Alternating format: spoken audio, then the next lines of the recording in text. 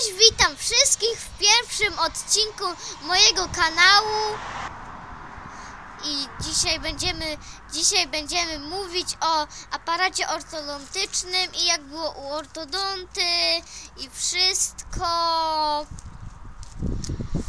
No i pojechałem do ortodonty i ortodonta y, mi powiedział, że ma, mamy jechać do zdjęcia takiego aeronowskiego czy coś tam.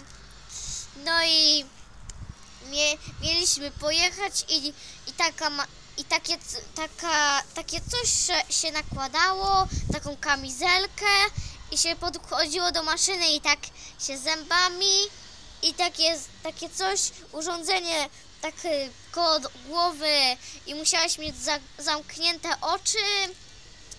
No i potem ci wychodziło zdjęcie wszystkich zębów. Wracałem do ortodonty i ortodonta mi powie, będę, powiedział, że będę mieć odcisk zębów i takie coś się wkłada. I jest odcisk zębów i to jest taki wylew, zaraz pokażę. To taki wylew jest i to taka szczęka będzie. I będzie fajnie i potem jak do ortodonty znowu przyjechałem, ortodonta podał mi tą szczękę i żebym zobaczył i powiedział jaki chcę mieć kolor aparatu.